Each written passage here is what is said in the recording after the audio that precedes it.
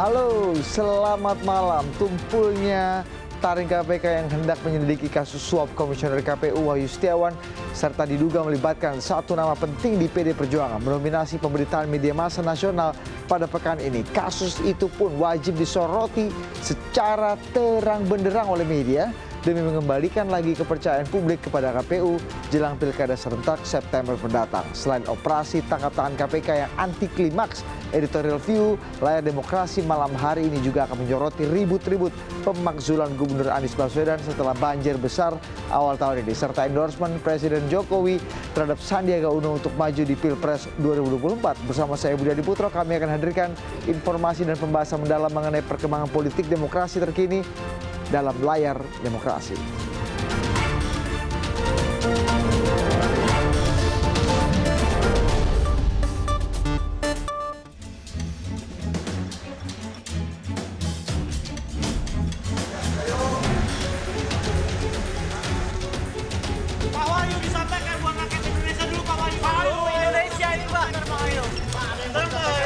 Pak Wahyu. Pertama, saya menyampaikan permohonan maaf kepada seluruh rakyat Indonesia, kepada ketua anggota KPU Republik Indonesia dan kepada seluruh jajaran KPU Indonesia.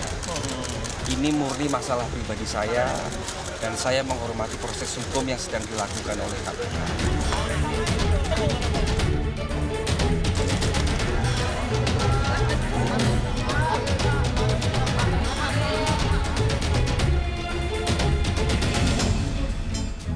Ketika KPK mengundang kami pun saya akan datang. Itu merupakan bagian dari tanggung jawab eh, warga negara.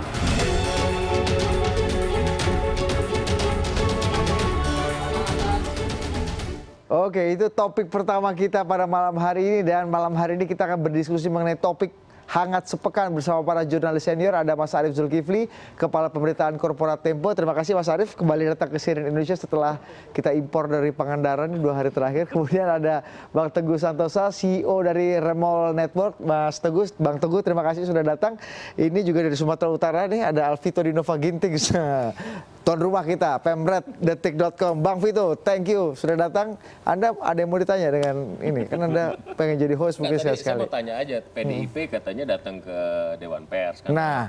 Mas Arief ini juga salah satu anggota Dewan Pers. Kita tanya, ada apa sebenarnya yang dilaporkan? Ada beritanya dulu nih, boleh diputerin nggak beritanya? Eh, Nggak usah jadi nanya kalau kayak Iya gitu. nggak apa-apa, nggak apa-apa. Nanti abis itu tanya ke Mas Arief. Eh, boleh diputerin beritanya. Oke.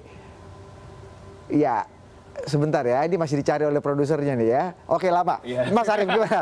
Gimana ceritanya? Gini, eh, di Dewan Pers itu kita menerapkan kode etik bahwa jika ada laporan yang secara langsung atau tidak langsung melibatkan atau menyangkut lembaga atau individu dari komi- anggota Dewan Pers, maka si anggota itu nggak boleh ikut. Oh, gitu. Jadi karena kita dengar-dengar ini ada kaitan dengan liputannya Tempo, maka saya mengambil inisiatif untuk tidak hadir. Tapi yang saya dengar dari teman-teman adalah Yang menemui ya. Yang menemui adalah eh, mereka hanya berkonsultasi ya. Tim apa tim Advokasi. bicara, ta- tim advokasi PDIP hanya berkonsultasi eh, menyangkut undang-undang pers eh, yang berlaku selama ini dan bagaimana dewan pers bekerja selama ini. Jadi lebih kepada konsultasi. Belum ada pelaporan apa-apa. Ada ada kasus yang membuat mereka resah? Apa sesuatu sesuatu yang membuat PDI Perjuangan resah? Kemudian kira, perlu dikonsultasikan. eh, yang sering kita baca di media itu keluhannya adalah mereka sering menyebutnya sebagai framing ya. Jadi Hmm. media memframe eh, sesuatu begitu. Nah, tentu saja kita bisa berdiskusi tentang apa itu framing dan apakah yang selama ini terjadi Oke. adalah framing. gitu. Uh, Sekjen PD Perjuangan Hasto Kristianto ketika ditanya mengenai kasus ini pernah juga menyebut bahwa seperti kata Mas Arief tadi bahwa ini ada framing-framing dari pihak-pihak luar yang katanya ingin men- me- apa ya menjerumuskan atau menyudutkan PD Perjuangan. Kita dengarkan yuk pernyataan Hasto Kristianto. Ronald Raset itu di dalam cerita kita sering mendengar, tetapi kalau Harun ini saya tidak tahu di dalam posisinya di mana dan kemudian sekali lagi ya kami percayakan karena dengan berita ini menunjukkan adanya berbagai kepentingan yang ikut membuat framing. Sebagai contoh ada pihak yang melakukan framing seolah-olah yang namanya Doni itu staf kesekjenan eh, ditangkap saya mencari-cari yang namanya Doni, staf saya ini namanya Doni.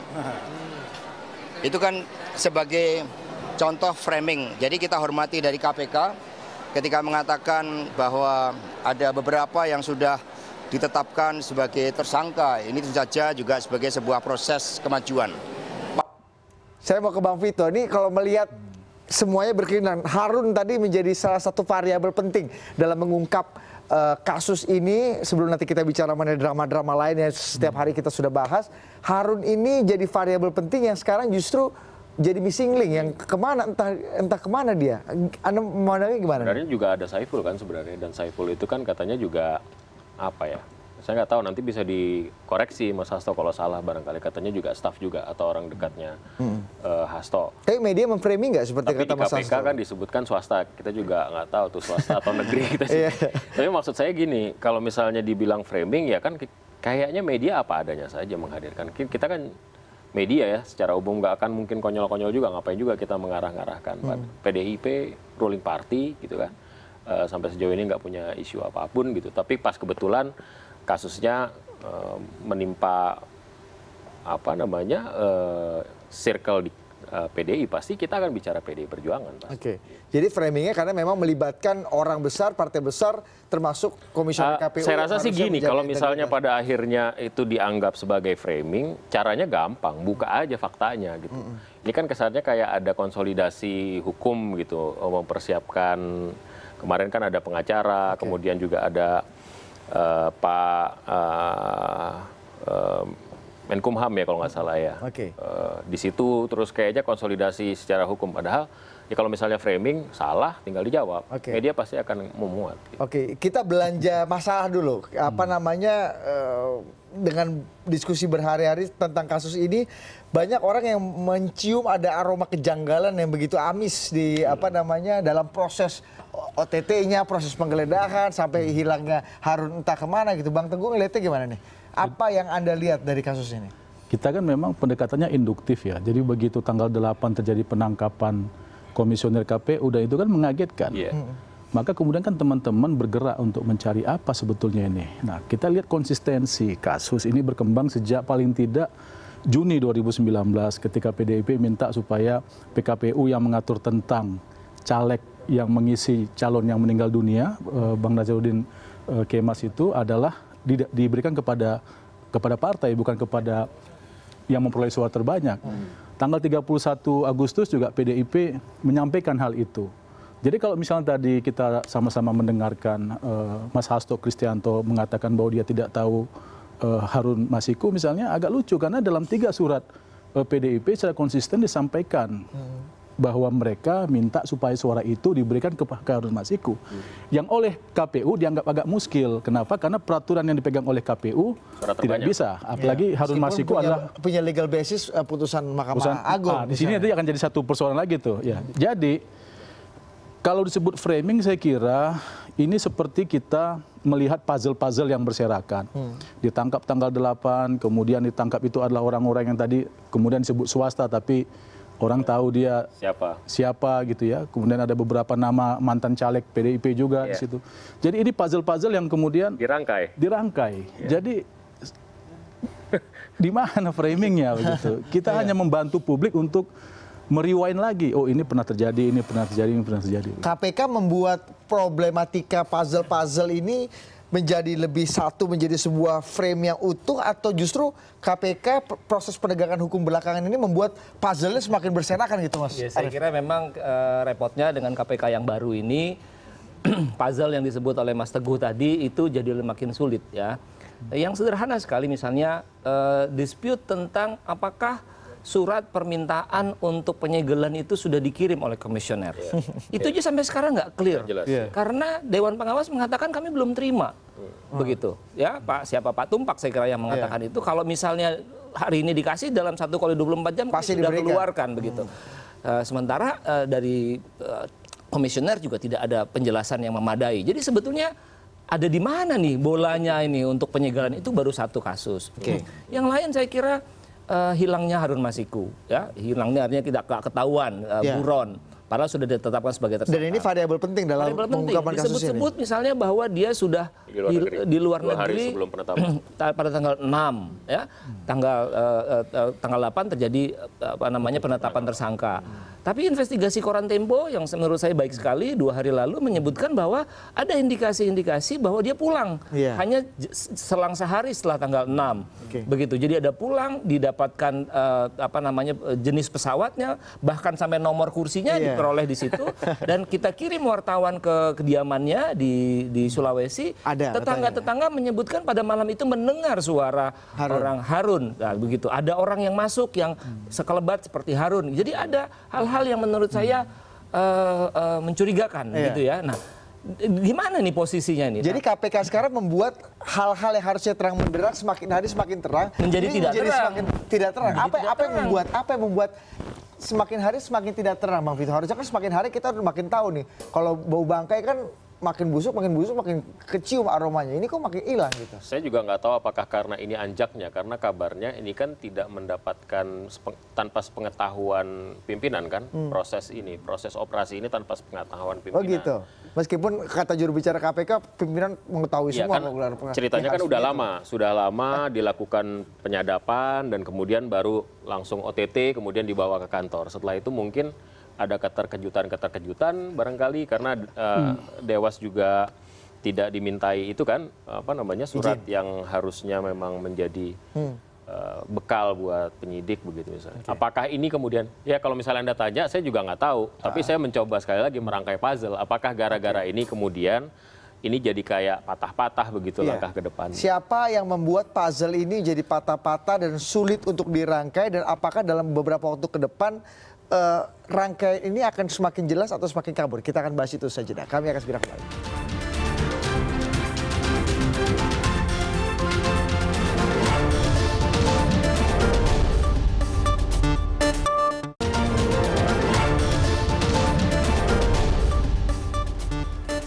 Jadi proses hukum selama ini beberapa hari terakhir kita debatin, kita ada kita bahas, kita pelototi tempo macam-macam detik, remol juga memelototi menginvestigasi macam-macam, justru makin kabur atau justru mak- makin kelihatan ada sesuatu yang janggalnya gitu.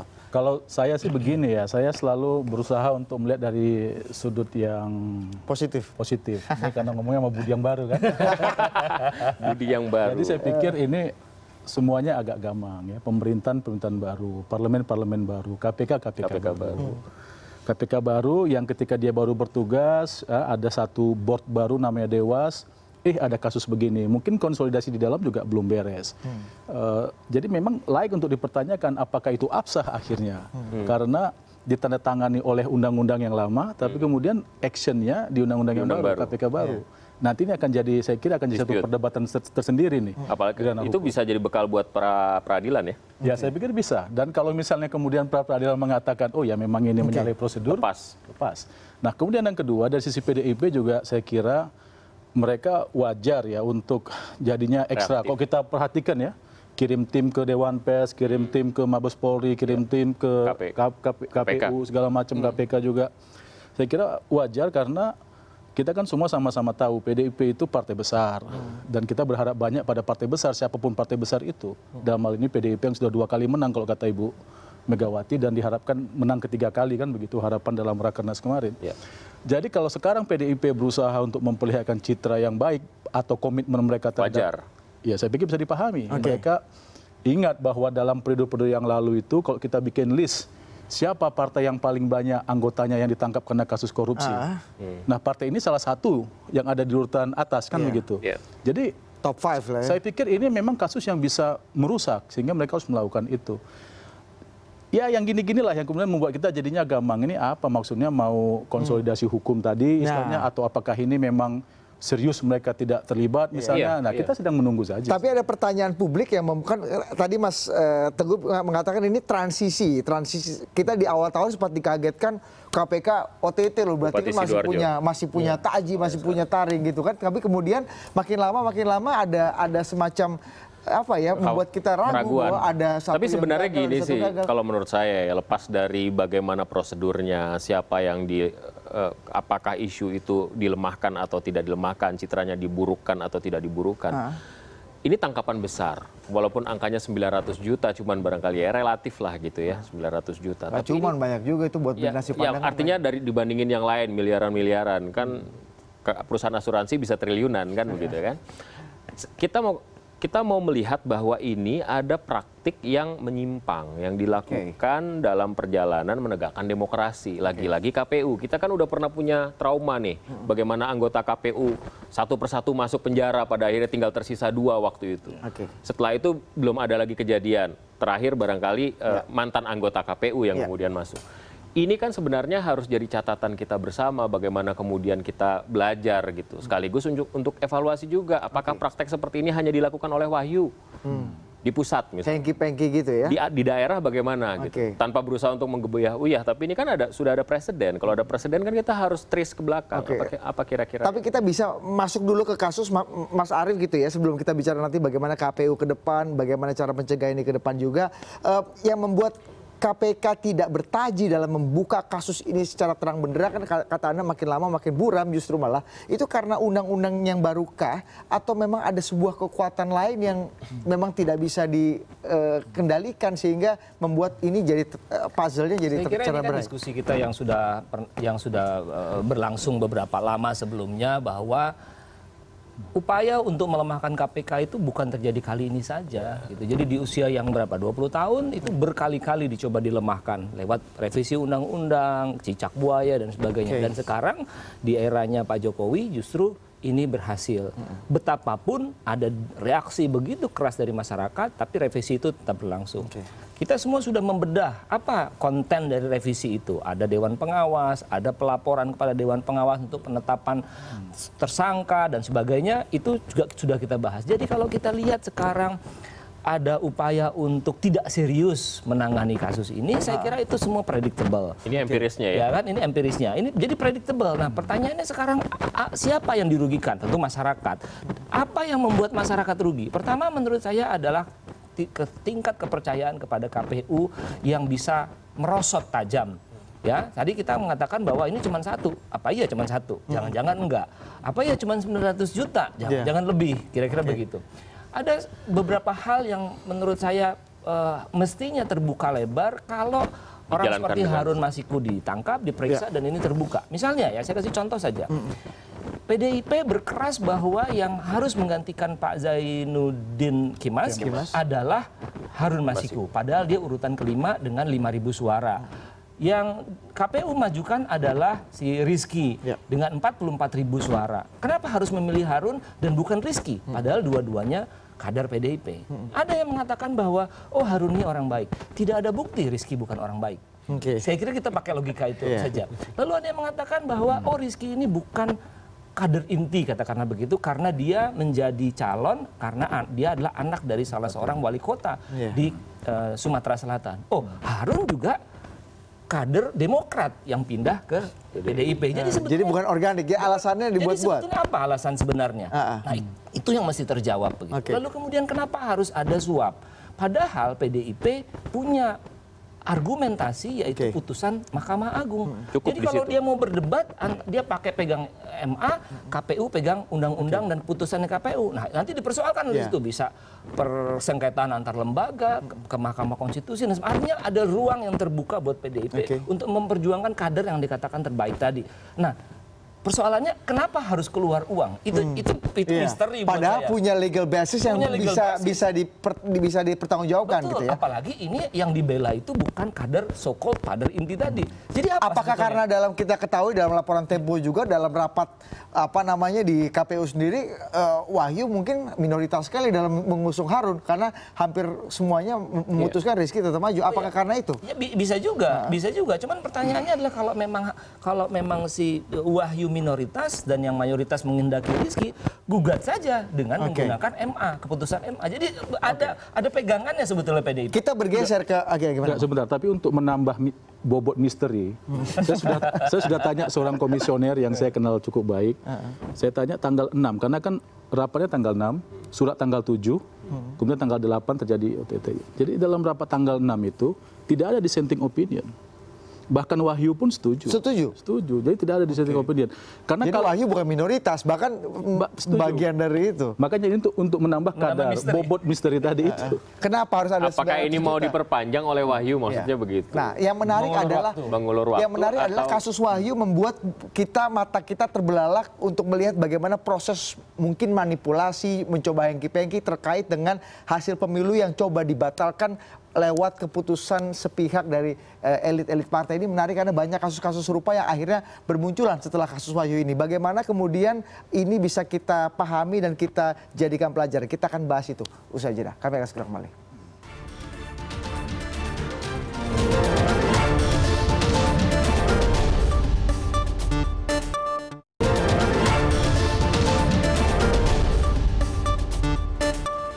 Oke, ada pesan dari sponsor Mas Mas Arief jangan terlalu banyak gerak siapa tahu ada sabotase di suara di suaranya. Jadi kalau kita bicara mengenai apa yang terjadi pada kasus Harun Rizky dan Wahyu ini membuat mata terbelalak dan akhirnya muncul satu persatu orang-orang yang mengaku menjadi korban tadi manipulasi meskipun menang suara pemilu makanya, tapi Bud. banyak kasus. Budi. Nah, kita dengarkan dulu sebelum Anda Oh, iya. komentar. Kita dengarkan dulu salah satu yang merasa dikorbankan atau menjadi eh, inilah korban dari praktek seperti ini. Kita dengarkan.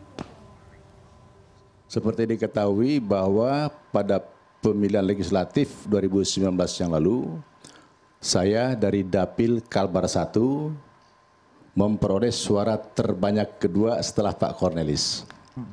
Nomor urut saya pada waktu itu adalah nomor urut 7. Diambil alih partai, internal. Ini tinggal menjelang satu hari lagi mau penetapan. Apa yang terjadi? Saya dipecat. Apa alasan partai waktu itu, Pak? pelanggaran kode etik. Kode etik yang mana saya nggak tahu. Siapa Jadi alasan keempat, Pak? KPU tidak bisa menetapkan saya karena tidak memenuhi syarat dipecat tadi.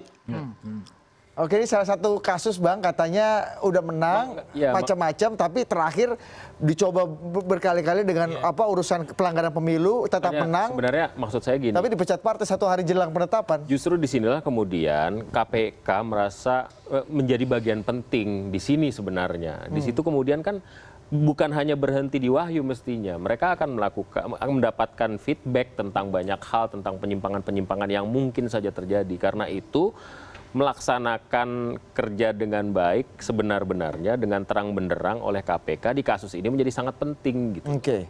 Jadi nggak jangan jangan kemudian buram lagi seperti yang kita bicarakan. Isunya sebenarnya di situ. Tapi praktek-praktek seperti ini gimana Anda lihat eh, Mas? Saya, saya kira ini menurut saya bagus ya karena selama ini yang kita tahu permainan-permainan di dalam partai itu hanya eh, orang harus membayar mahar untuk ditetapkan sebagai calon bupati atau wali kota atau gubernur gitu Iya, kan ah. itu yang sudah sering kita dengar. Nah, ini lah ya. kasus ini kemudian membuka kotak Pandora bahwa ada sebuah sumber penghasilan baru baru kita ketahui gitu ya bahwa PAW itu juga bisa dimainin ternyata Iya. dan itu menyangkut kader-kader dia sendiri gitu. Nah, jadi menurut saya kalau KPK itu kita percaya dilemahkan karena alasan-alasan bahwa eh, pembangunan harus dijaga, tidak boleh ada kegaduhan, Iya. eh, kepala daerah dan para pengambil keputusan harus leluasa mengambil keputusan, tidak boleh ditakut-takuti oleh ditangkap dan sebagainya. Artinya eh, tujuan atau mot- motif ekonomi, Hmm. motif pembangunan, maka sekarang kita langsung dikasih lihat sama Tuhan Oke. yang Maha Kuasa bahwa eh, ini ini mengganggu pembangunan. Oke. Pembangunan apa? Ya pembangunan politik. pembangunan politik itu akibatnya juga ke pembangunan Iya, ekonomi. pembangunan politik berakibat ke pembangunan Pembangunan ekonomi. ekonomi. Sekarang bagaimana kepercayaan orang kepada KPU? Bagaimana kepercayaan orang kepada partai politik? Karena partai Ini politik untungnya- adalah perangkat. Untungnya gini loh, Ah. sekarang ini eh, isu 2019 be- selesai karena eh, ada akomodasi politik yang dilakukan oleh Jokowi terhadap musuhnya. Bayangkan kalau misalnya Prabowo misalnya tetap menjadi tetap menjadi rival di partner luar gitu ya. gitu. Kita bisa bayangkan bagaimana kegaduhan yang terjadi gara-gara kasus ini. Dan ini pasti akan dikapitalisasi habis-habisan untuk political tools. Bang Teguh. Ya, Ini Mas, kotak bener nggak? Ini membuka kotak Pandora, ada sumber pendapatan lain, pencolengan lain misalnya yang bisa dimanfaatkan. tapi saya kira kan itu bukan cerita baru ya. Baru. Soal itu kan cerita lama kita juga udah dengar macam-macam lah soal penentuan nomor aja bisa ribut ya. Gak usah begitu. Bud. Soal siapa yang mau jadi anggota pansel Ya. komisi ini komisi itu kan juga kita ngerti. Inilah dampak dari liberalisasi politik kita yang ah, Jadi kalau menggunakan istilah eh, Arif Zulkifli, ini Tuhan membuka satu persatu apa namanya? Dosa-dosa politik? Jenis-jenis rente politik begitu iya. kan. Ini ada rente politik jenis baru yang yang kemudian kita pelajari begitu. Oke, Oh, Bang Vito, tapi kalau kita berharap misalnya seberapa ini bisa jadi pelajaran ke depannya untuk KPU, untuk KPK, bahkan KPK juga dalam menelisik sebenarnya ini ada ada ada ada rente baru nih sebenarnya. Harus tuntas dulu menurut saya ya. Artinya KPK Hmm. Jadi pembuktian Wahyu ini harus dituntaskan Iya, untuk harus menjadi tuntas. untuk menjadi dan KPU bagus. dipaksa untuk transparan, Hmm. benar-benar terbuka, membelejeti apa pun yang yang harus eh, menjadi kebutuhan. Anda bayangkan ya eh, urutan yang akan terjadi yang kita bisa proyeksikan, kita bayangkan ya. Kepercayaan orang kepada KPU turun. Lalu KPU harus menjalankan pilkada untuk memilih kepala-kepala daerah yang bertanggung jawab terhadap pembangunan. Gitu ya. Apa yang dibayangkan pemerintah, pembangunan yang merata, infrastruktur yang berjalan di mana-mana, itu dipimpin oleh kepala daerah. Nah, bagaimana kepala daerah itu bisa kredibel dan dipercaya kalau penyelenggara pemilunya dipersoalkan dan tidak pernah tuntas Iya. kasus-kasus yang melibatnya itu. Jadi ini berpengaruh ya kepada agenda politik ke depan nih, Pasti. Bang Teguh ya. sangat. Oke, A- apa yang paling penting untuk kita pelajari, KPU pelajari dan bagaimana kita bisa rebound, terutama kepercayaan publik itu. Bisa-bisa ini golput jadi makin banyak. Ah, gimana? Percuma saya itu- pilih, i- itu saya bahaya- pilih orang. itu bahaya yang lain tuh. Ter- Ternyata partai politik mengganti calonnya. Artinya apatisme politik kan? exactly. Makanya sebenarnya KPK harus bergerak dengan sangat clear. KPU memberikan dukungan. Seberapa punya Termasuk optimisme dengan lanskap politik dan hukum sekarang nih? ya sekolah sa- Bung sampai sekarang ya seperti kita bicarakan masih buram kan. Satu lagi sebenarnya PDI Perjuangan punya kepentingan untuk menunjuk kalau misalnya memang tidak terlibat dalam dalam konteks eh, institusi itu buka saja. Ini gitu. penting. PDI Perjuangan jadi variabel penting juga untuk mendorong proses ini bisa bisa bisa terbuka dan Iya. dan dan finish gitu. Gimana Anda lihat? Ya memang Anda lagi akhirnya pikir kata-kata yang aman ya. Pak? saya, saya, saya mengerti, saya mengerti. Maksud saya kan misteri itu akan merangsang orang untuk berimajinasi. Imajinasi lain yang juga sedang ramai dibicarakan terkait dengan PDIP ini kan adalah semacam oh ini ujian bagi Pak Jokowi gitu ya. Atau ujian Pak Jokowi bagi PDIP apakah mereka akan meloloskan eh, anak dan menantu dalam eh, Oh ini sampai ke sana ya. Sampai ke situ, Iya, iya, mau tidak iya, mau karena misteri itu akan merangsang kita untuk berimajinasi. Sampai juga ke sana. Kita. Iya, eh, Iya. Ini yang saya mengerti kenapa dia lama sekali tadi. dibicarakan oleh banyak orang gitu. Ya kan dan ini kan jadinya sangat mengganggu PDIP juga sebagai partai yang yang jangkar tadi kan begitu. Bisa nggak masuk variabel Jokowi tadi dalam dalam Maksudnya ini pusaran jangan menjadi sandera kemudian. Jangan sampai PDI ini Perjuangan. menjadi saling sandra. Da- potensi saling sandranya di mana, Bang? kan kita sekarang melihat perjalanan ya ini ya gue jadi ngomong nih gitu. ini budi yang baru nih budi yang baru Gimana Bang Teguh? Memang kalau sampai situ harus ngomong ya. Eh, apa namanya kita lihat Gibran yang masih menunggu ya kemudian juga Bobi yang Bobi, masih menunggu ya. di Medan sana ada dua lagi katanya Ada pamannya Bobby, ada pamannya Gibran. Nah, itu juga ada, Ada jadi ada anaknya empat katanya. Wapres Ada juga. ya. Nah, ini ini yang terkait dengan sebelah sini bukan Oh, sebelah sini. sana. Oke, oke, oke. Osin bukan Osan nah, ya. Jadi orang kan sekarang melihat bahwa oh ini jangan-jangan memang sedang meminta kepastian. Jadi katanya ini Jokowi katanya meminta PDIP begitu ya. Hmm, kepastian apakah karena saya sangat yakin ini Azul Iya, iya. ya, eh, memang kan Presiden Jokowi pernah mengatakan bahwa anaknya tidak akan turun ke panggung politik kan begitu. Iya. Tapi kemudian kita lihat Gibran datang dengan percaya diri, Bobi Oke. juga datang dengan percaya diri, bahkan sampai ke rumah Prabowo. Iya. Jadi ini pasti aksi yang tidak mungkin dilakukan tanpa Perencanaan. persetujuan Oke. orang tua. Ini menarik ini ada ada bargain baru. Ini saya saya Oh, ini orang baca, ini bukan baru. saya. Ini orang kita kan Iya, tadi tugas pasti. kita ngumut-ngumut puzzle Anda kan itu. mengartikulasikan apa Tapi kata. kalau main QQ ini pinggirannya nih. Ini pinggirannya. Belum dibanting Belum dibanting. Tapi ini Masih menarik, ini pinggiran. jadi variabel baru yang kemudian melihat bagaimana landscape politik ke depan pasca kasus ini. Nah, maksudnya begini, makanya kalau kita tidak ingin terjebak pada apa namanya tadi itu eh, derivat dari misteri-misteri itu ya ini mesti dibuka. Eh, ujung-ujungnya sama semua mesti Berarti dibuka. artinya eh, Bang Teguh mengatakan Pak Jokowi punya kepentingan untuk meng- eh, memotivasi lah ya. Karena kan tidak Oke. bisa mengintervensi kan. Bagus. Kalau bilang Pak. Jokowi punya kepentingan, yang kemarin apa kepentingan Pak Jokowi ketika memuji habis Sandiaga Uno dalam sebuah forum besar ditonton banyak orang dengan bahasa yang tanpa tanda alih-alih. Kita akan bahas itu saja. Kami akan segera kembali. Selamat ya.